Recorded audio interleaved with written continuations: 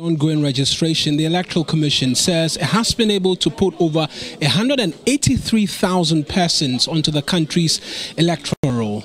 The process, which started on Tuesday last week, was fraught with challenges. Challenges which the opposition NDC largely asserted to as orchestrated, aimed at disenfranchising first time voters, particularly in its stronghold. Accusations which have been parried by the Electoral Commission.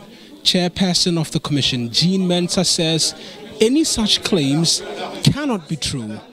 The allegations being made against us, including accusations of our working to disenfranchise eligible voters, to sending faulty kits to the stronghold of a specific political party, are false.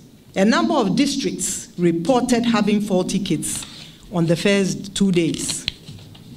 These kids were not located only in the stronghold of a political party, of a particular political party, and the evidence is there for all to verify. On arguments by the former president John Mahama that perhaps the guarantor system is still quite the best way in registering persons onto the electoral roll, the Electoral Commission cited instances or media reports of minors being registered onto the electoral roll and used that as basis to suggest that if you can go to a district office with two guarantors just to get onto the electoral roll, you can go to the district office to get a Ghana card. As a commission, we don't think so. We are, we are mindful of the fact that the National Identification Authority had some budgetary constraints and they were not able to, you know, register. They have not been able to register for a while. But we are also mindful and we are also well aware that over the last two weeks, they've kick-started their activities in the districts and they are registering persons who have turned, I think, 15 years above in the districts. So we do not, I do not believe, and so the cards are available.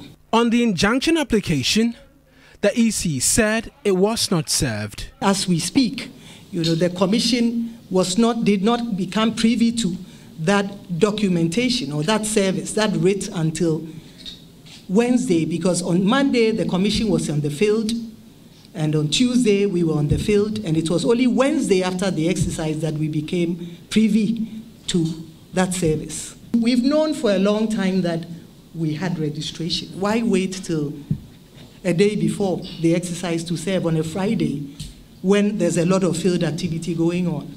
She adds the Commission will undertake a continuous registration process to register more persons next year. In the lead up to the 2024 presidential and parliamentary elections, we will roll out a continuous registration of voters for several months in the district offices.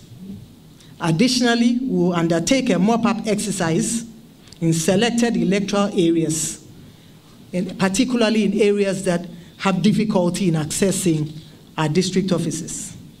The Commission is, however, warning guarantors against endorsing minors. Eric Mawina Egbeta, TV3 News, headquarters of the Electoral Commission.